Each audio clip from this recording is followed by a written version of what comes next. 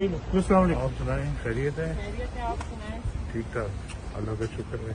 Sir आज long मार्च मुलतवी हो गया कितना डिसअपॉइंटिंग है मुस्लिम लीग नून के लिए?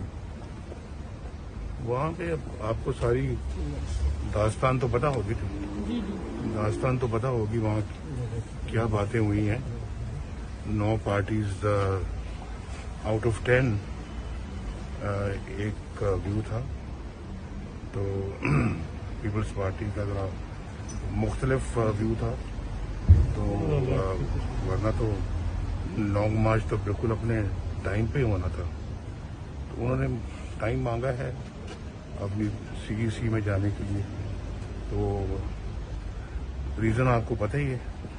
मुझे आप क्यों पूछ रहे हैं? उन्होंने टाइम मांगा है अपनी सीईसी में जाने के लिए। तो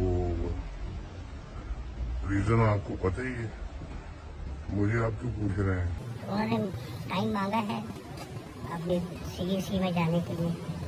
तो रीज़न आपको पता ही है।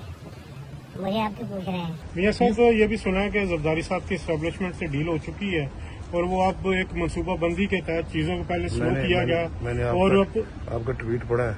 हाँ, तुम जी, उसमें मैंने तो तीस जन तीस दिसंबर को भी किया था कि उनकी डील फाइनल हो चुकी है और वो ये चीज़ें जानबूझ के एक प्लानिंग के तहत उनको स्लो किया गया। पहले आपसे वो जीबी इलेक्शन लड़ते रहे फिर सेनेट इलेक्शन तो क्या ये एक पर्पज था पीपल्स पार्टी या आसिफ जरदारी साहब का कि पीडीएम को इस हद तक नीचे ले जाने की कोशिश की जाए और वो अपनी डील के चक्कर में उन्होंने जो हुई है ये सारा कुछ कर रहे हैं। लॉन्ग मार्च से उन्होंने मुझे क्यों सवाल पूछ रहे हैं आप क्योंकि ये एक तो एक चीज़ नज़र आ रही है ना कि जिस तरह बाय पर्पज चीज़ें हुई हैं और वो एक दफ़ा फिर कह रहे हैं वो people- वो इस्तीफे तो देने के हक में नहीं है। वो।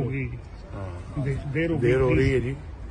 आप सब लोगों हाँ, एक और चीज़ वो क्या आपकी आज को आपको डायरेक्ट हिट किया गया जबकि जरदारी साहब खुद डेढ़ साल दुबई में बैठे रहे इंट से इंट बजाने का बयान दे के। और जब आपकी पता कि बीमारी की वजह से आप हैं तो पर्पजली उन्होंने जो आज आपको किया फिर सागदार साहब को किया ना कि सागदार साहब की तो सस्पेंशन हुई हुई है सुप्रीम कोर्ट के हुक्म के मुताबिक जी, जी, जी। तो इसको कैसे आप देखते हैं कि क्या ये चीज़ें काबिल कबूल है आपकी उसी, उसी तरह से देखने जिस तरह से आप देख रहे हैं मियाँ साहब जरदारी साहब के लेकिन ये अब इस, तरीके से जो है पुरानी पुरानी रवैश ही चलेगी। पार्टी